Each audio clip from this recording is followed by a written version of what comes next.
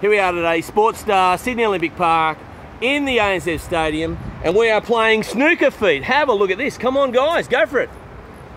Oh, oh, it's a miss. Oh, straight in the hole. Upside down in the hole. Looking good.